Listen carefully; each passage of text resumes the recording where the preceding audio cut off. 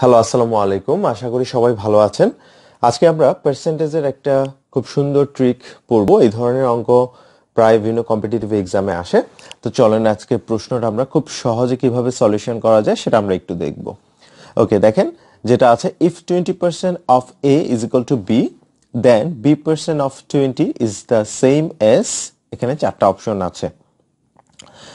আচ্ছা তো এই ধরনের অঙ্ক আমরা যেভাবে সলভ করব দেখেন, আমরা সরাসরি যেটা বের করতে বলেছে যে এই যে বি পার্সেন্ট অফ টোয়েন্টি এখান থেকে আমরা অ্যান্সারটা করব। আচ্ছা দেখেন, এই বি পার্সেন্ট বি পার্সেন্ট এখানে বি এর মানটা কিন্তু দেওয়া আছে। সো সিম্পলি এই যে বি এর মানটা আমরা এটার মধ্যে বসায় দেব, সেক্ষেত্রে অ্যান্সারটা হয়ে যাবে।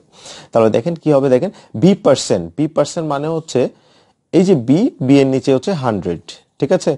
ইনটু অফ যেহেতু টোয়েন্টি ইন্টু টোয়েন্টি আচ্ছা এখন আমরা এই যে বি এর মানটা বসায় দিব, তাহলে কি হবে?